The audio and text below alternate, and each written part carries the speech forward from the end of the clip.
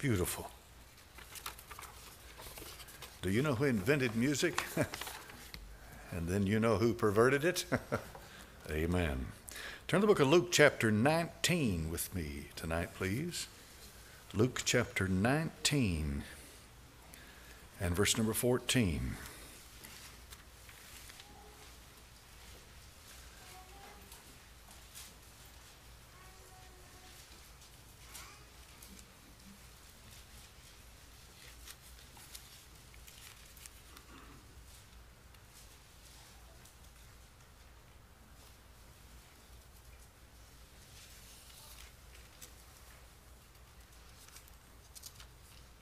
Turn to Matthew chapter 4, verse 24.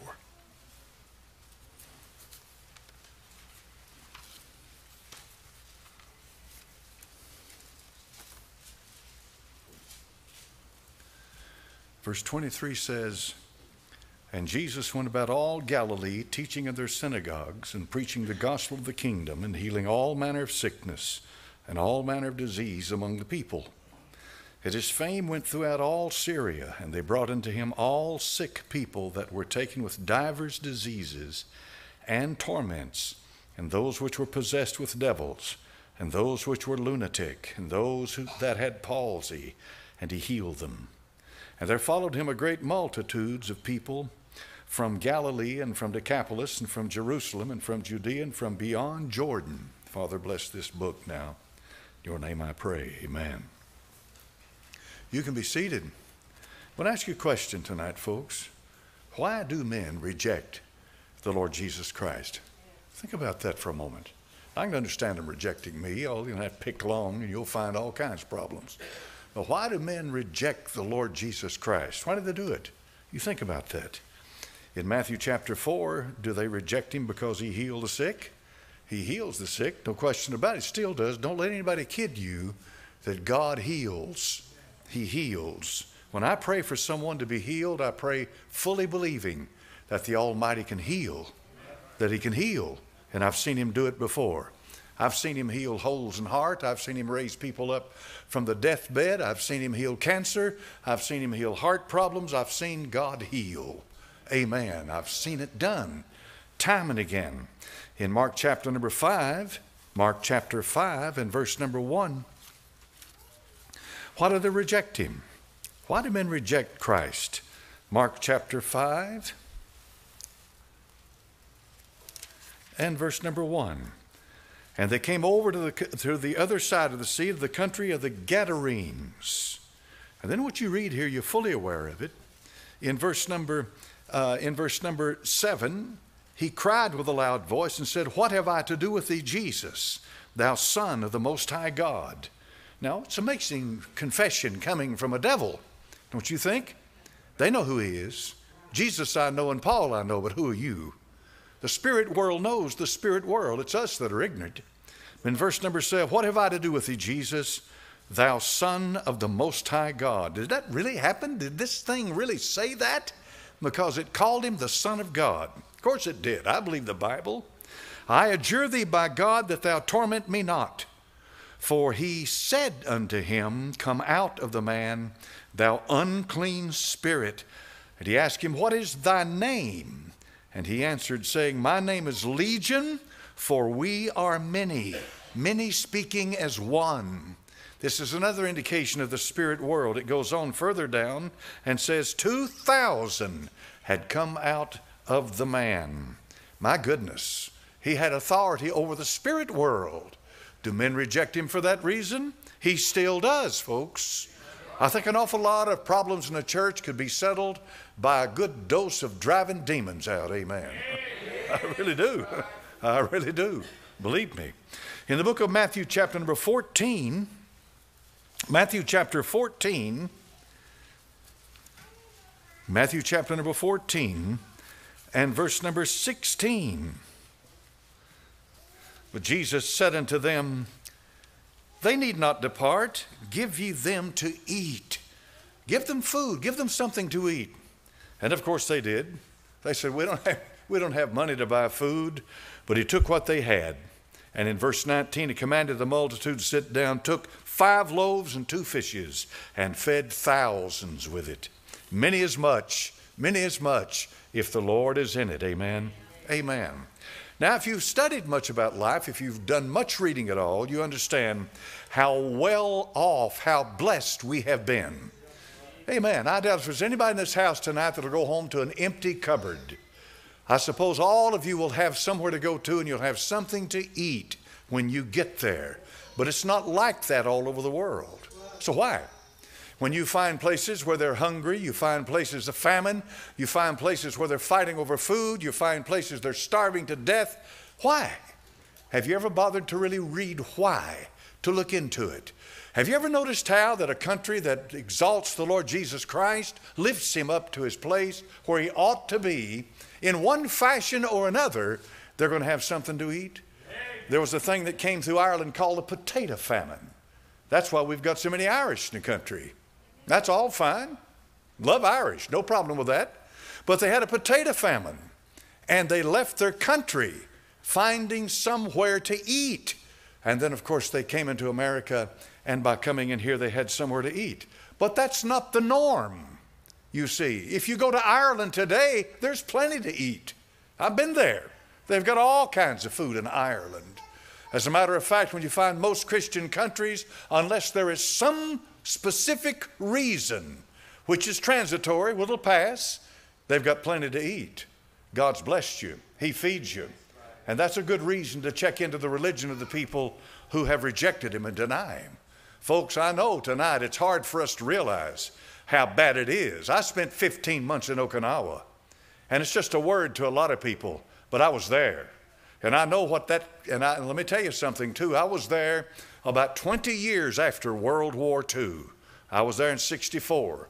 45, the war ended. So I was there in, in uh, about, about 20 years later. And that time, 20 years after World War II, Okinawa was a hard place to live in.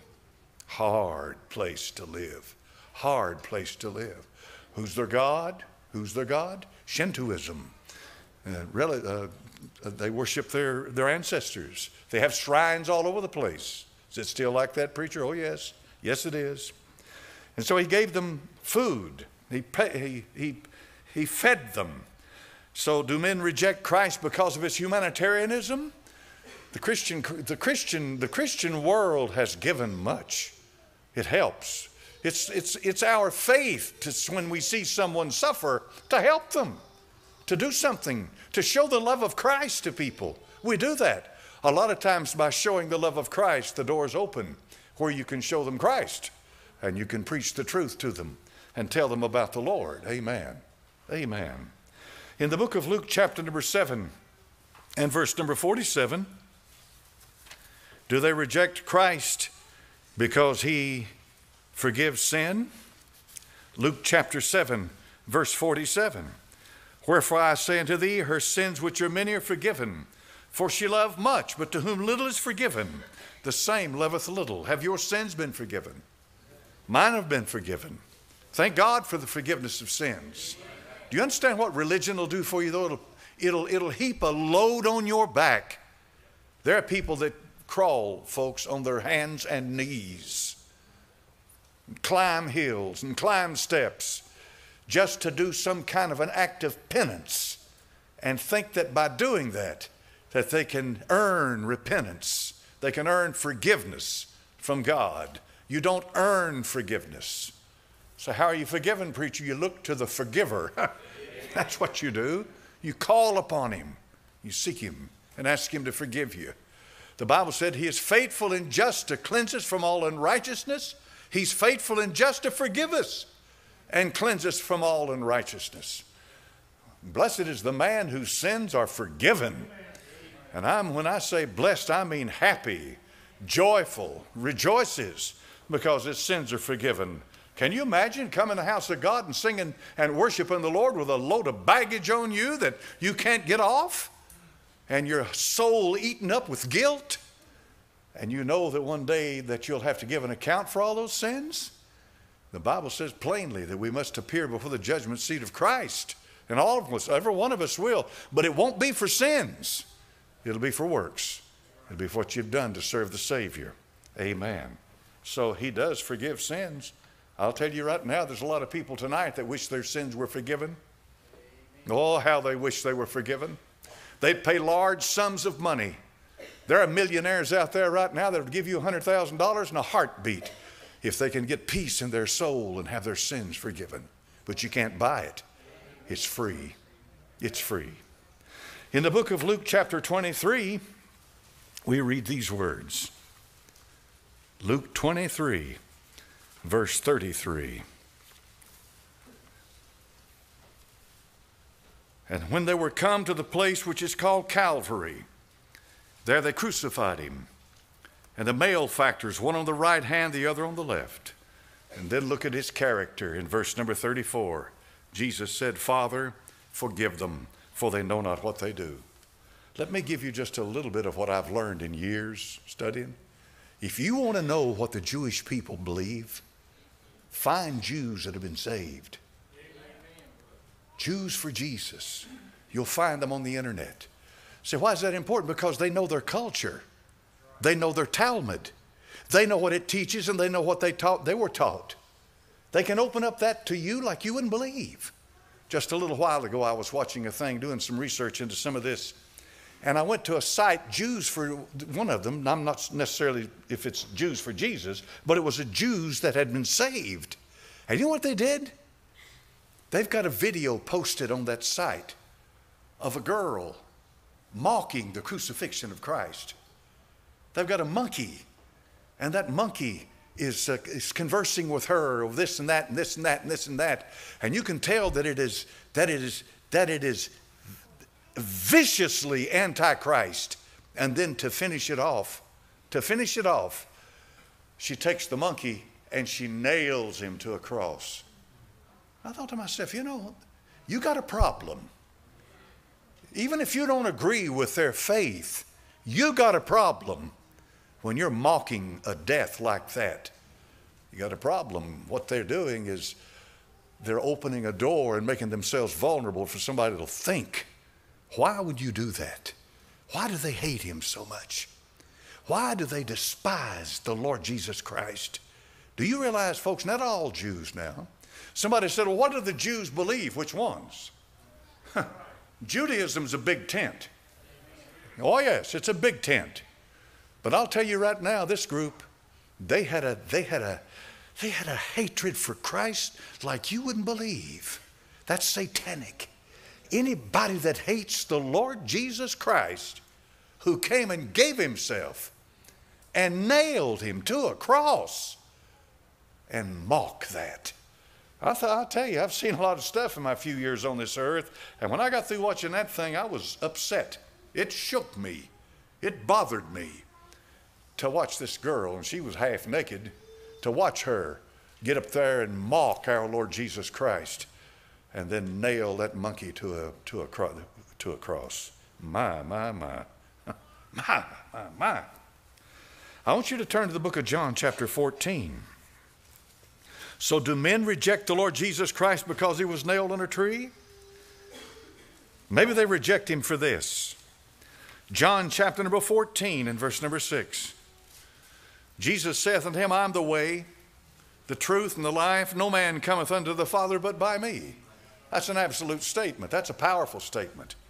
I mean, that's a statement. that means I don't care what, what your religion is, where you live, where you came from, what you know.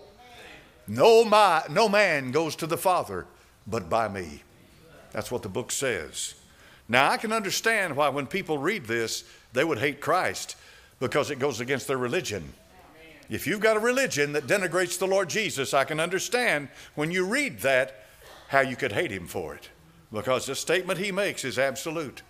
It's absolute. He said, I am the way and the truth. But you know what? You're getting mighty close right now you're getting very close to the greatest reason that men hate Christ. Self righteousness is born in the soul, it eats to the very nature of man. I'm as good as the next fellow. That's, that's what they argue.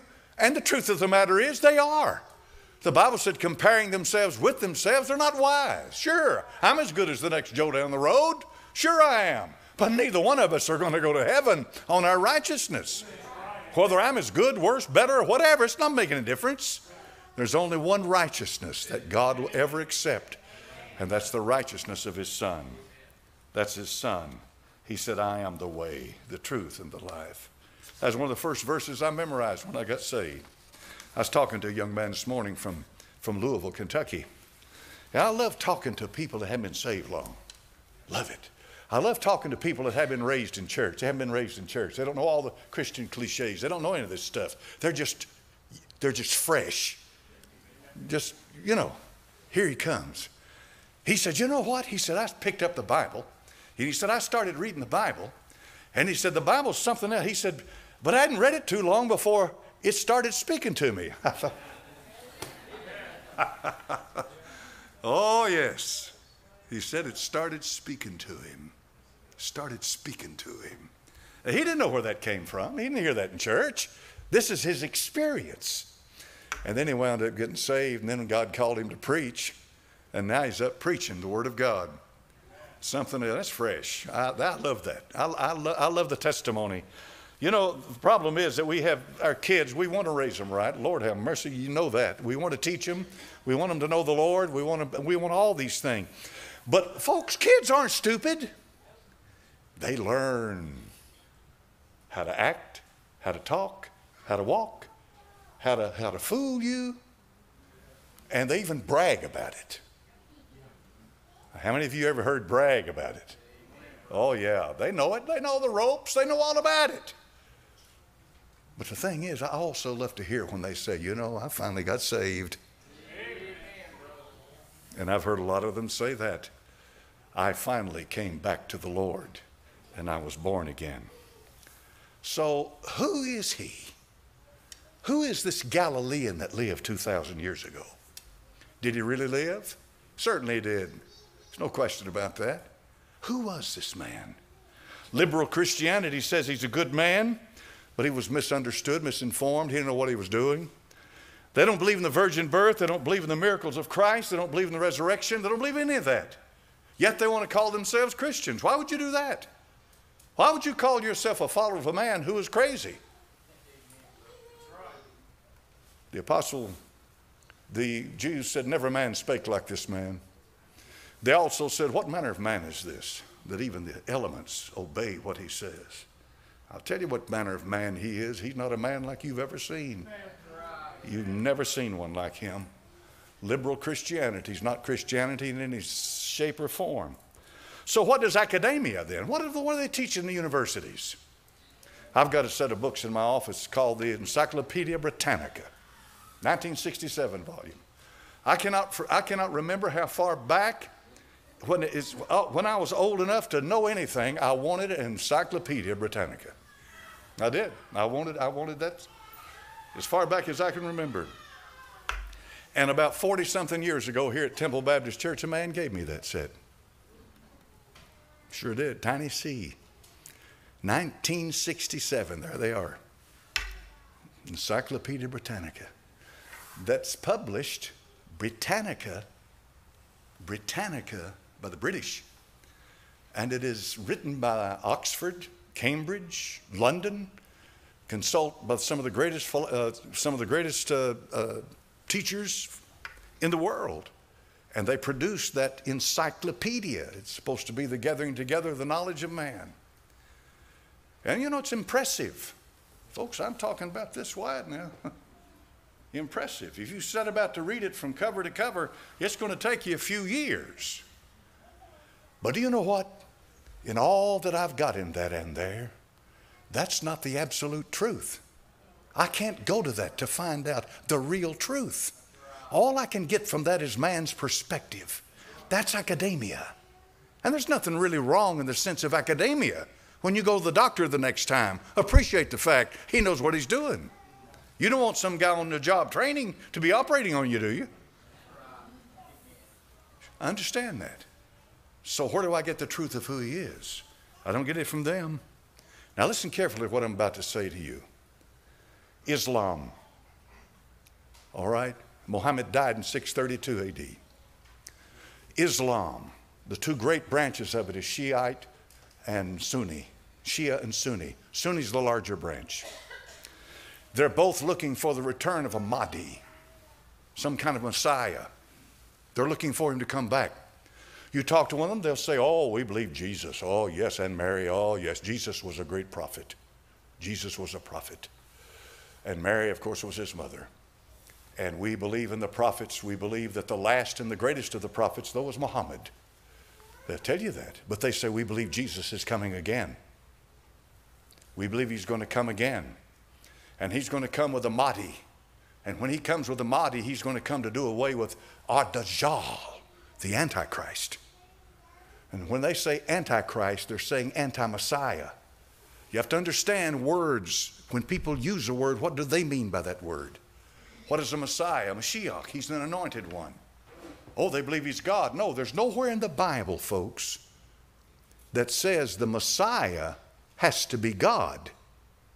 You understand that? That's just get that little point right there, okay?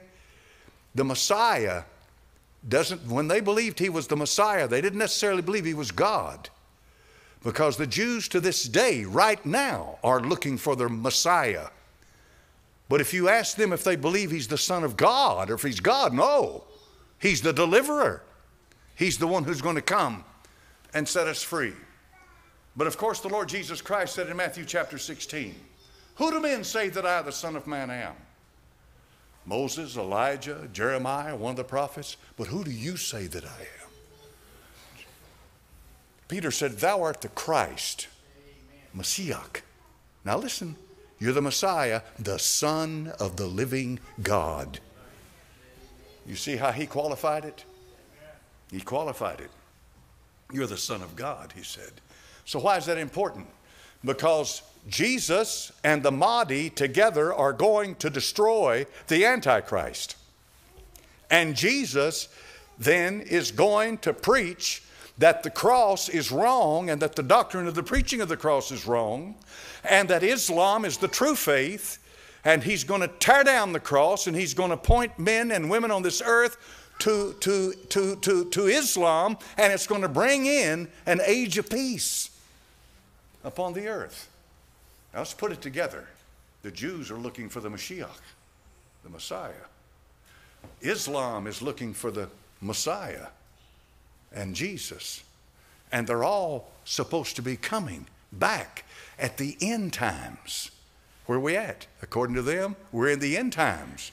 According to most preaching, we're in the end times. I believe we're close. I don't, I, you know, I have no way of knowing anything except what the Bible says. I know this. I know you live in a great apostasy.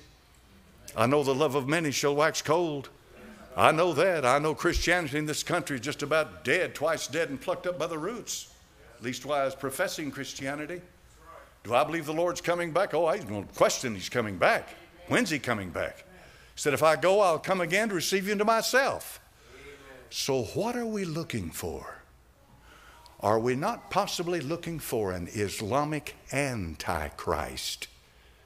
Are we possibly looking into Islam for the antichrist? You ever wondered how that fits in, how that party fits in?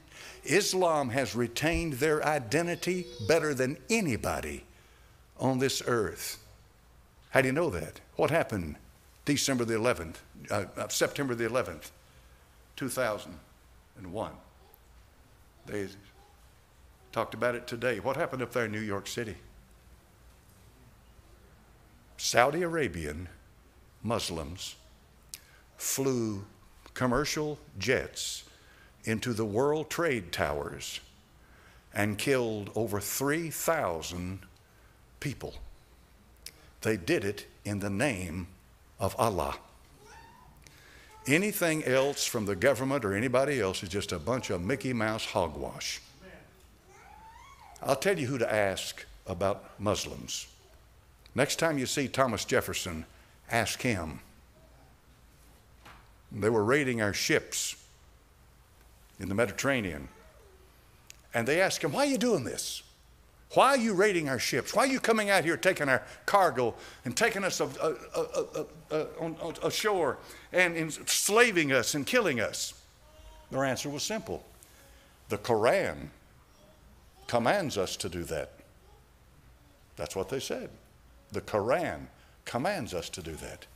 So, what did Mr. Jefferson do when he, uh, when he finally got the word and found out it was a religious war? What, what did Mr. Jefferson do? Called in the Marines, that's what he did. You ever hear that Marine hymn where it says, From the shores of Tripoli? That's what he's talking about. He called in the Marines. Yeah. What happened? They took care of it.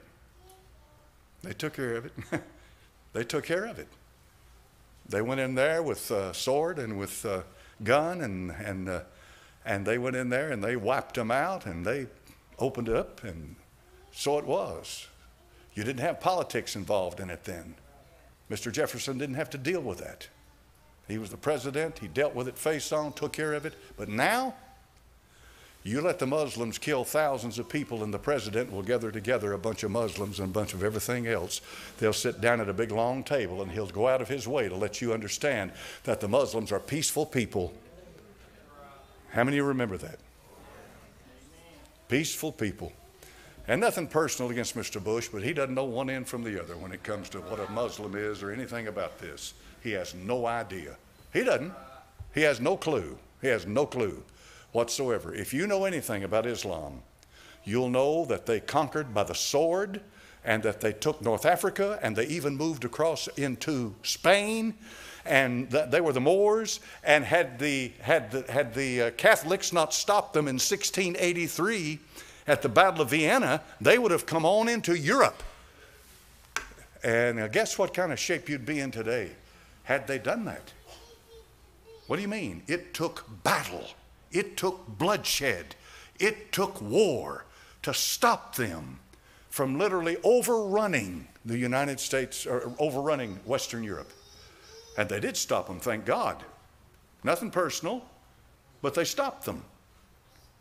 So we have a religion that is based upon a book that commands them to kill the infidel and to take this world for Allah. So we'll see what happens. An antichrist is going to come. And he may very well come through Islam. Amen. I'll say this about it and then I'll shut up about Islam. They are far, far, far more dedicated to what they believe than 99% of the Christians that I know. Far more, far more, far more. How do you know that? Those Saudi Arabians got on those jets and flew them into the World Trade Towers knowing they were going to die. Knowing they were going to die. But of course, let me give you this. In Islam, the only way that you can be guaranteed that you're going to go to heaven, to be guaranteed, is to die a martyr. And they died as martyrs. Shaheed, they called it. They died as martyrs. So, yes, yes, Islam and their prophet. Hinduism, a Jew in the Crimea in the Crimea, a Jew in the 1800s. His name was Notovich, and I've mentioned him to you before. He said that Christ went into, uh, into, into India and studied under Buddhists and Hindus, and they taught him how to perform miracles, conjure up spirits, and so forth and so on. And so everything that he did when he went back into Galilee, he got it from the Hindu and from the Buddhist. People believe that today. They believe that very thing today. They believe that Hinduism, Buddhism, which is brother and sister, they believe that that is the true revelation understanding of God, their definition of who God is. Sad thing is that most Christians would have no idea, have no idea at all how to respond to that kind of talk, but that's what they believe. Then you have witchcraft, magic. You talk to a witch, that's the craft, they call it. Keep in mind the craft. You talk to a witch, and witches are all over the internet. If you want to hear what they have to say, they'll be glad to log on to their website. They'll be glad to tell you what they believe.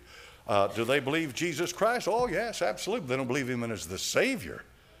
He was a worker of miracles, he was magic, he was a magician. There is a thing called a philosopher's stone. How many's ever heard of that? The philosopher's stone is some kind of a essence, is some kind of a thing that holds the secret of how to turn any metal into gold. But it goes further than simply gold. It also has with it this added benefit of eternal life, living forever. The philosopher's stone. That therefore became the basis of alchemy. You've heard of alchemy, I'm sure. Alchemy. And so there are those out there right now who are trying to find the secret of eternal life. Let me tell you what the secret of eternal life is it's person. it's a person. But that's what they believe. And then, of course, Judaism, as I told you a moment ago. Do your own research in this, and it'll help you greatly. Go to Jews that have been saved and read what they have to say. They can read their Hebrew, they know their Talmud, they know the secrets, they know the buzzwords, they know the code words. Listen to what they have to say, and you'll be amazed it comes out from it. So then that leaves one Bible believing Christian. What do I believe about this man? I believe he's God Almighty walking in flesh. if you've seen him, you've seen God. What's the Father look like? You don't have a clue, and I don't either. His Father's a spirit, but I know He manifested Himself in the Son. And the Lord Jesus said, If you've seen me, you've seen the Father. How do I understand that? It's a mystery, but it's the Godhead. The Bible said, In Him dwelleth the Godhead fully, fully, bodily, fully dwelt in Him. The Lord Jesus Christ is God of very God. Amen. That's who He is. Not a God. We're not one of the little gods of the big God. Got some charismatics out there teaching that garbage tonight, saying you're God. Listen, you cannot become God. That cannot happen. It cannot happen. You cannot become God. God Almighty is the essence of Himself, and there's not another like Him, and He has existed from everlasting to everlasting. I can't explain, I can't understand the essence of God because He's a spirit being, but He has always been. But what he will make of you is a son of God by the new birth. I'm glad for that. Amen. I am so glad for that tonight. He was virgin born. Virgin born. He came to this world. A father was not a man, his father was God. When the Lord Jesus Christ was born in Bethlehem of Judea, he was born when God incarnated himself into a man. Satan is going to do the same thing. He's going to incarnate himself into a man. So, how's he do that, preacher? Because Satan's a spirit being. He's a spirit, and he'll incarnate himself into a man. And then, when he incarnates himself, in other words, to incarnate means to become flesh. Spanish carne is flesh. Chili con carne, chili with flesh. Okay, so to incarnate oneself is to go into flesh, is to become flesh. And this is what Satan's going to do. The Antichrist, for three and one half years, is going to be a man just like you and me. Not one bit of difference. Born exactly like we are. But then the Bible said Satan will enter in him like he did Judas Iscariot, and he incarnates himself in that man.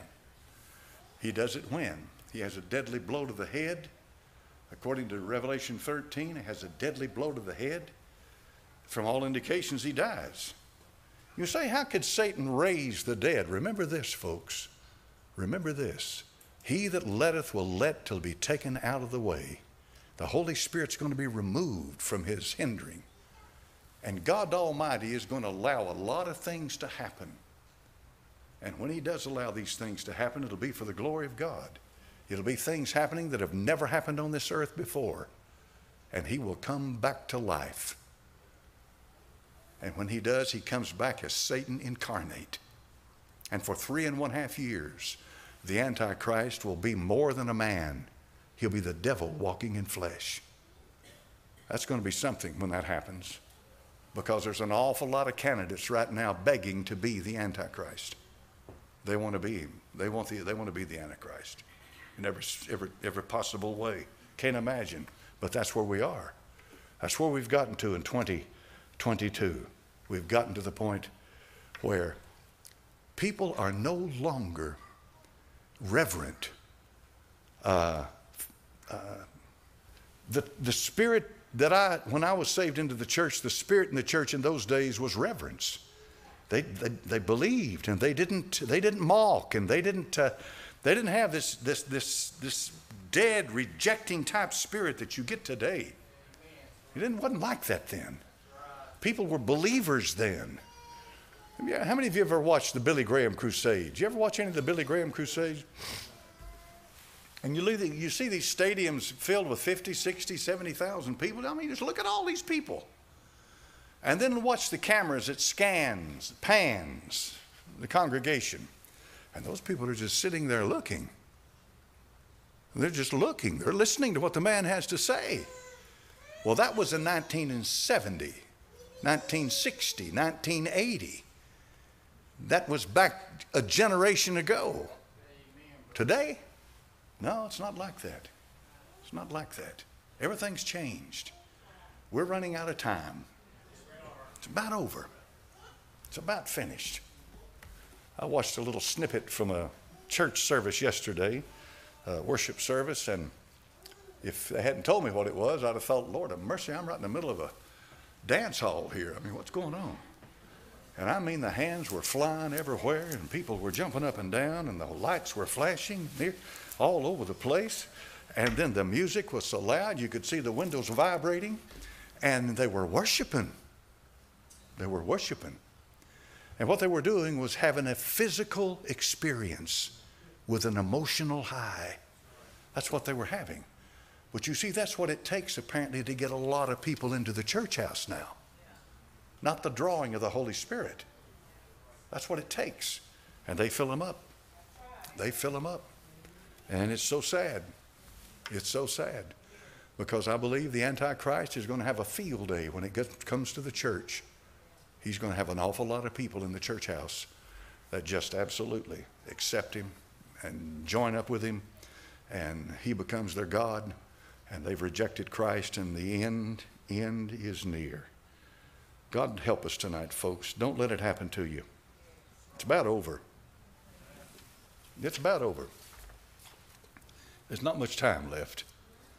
Father, bless your word. In Jesus' name. Bless your word. Amen.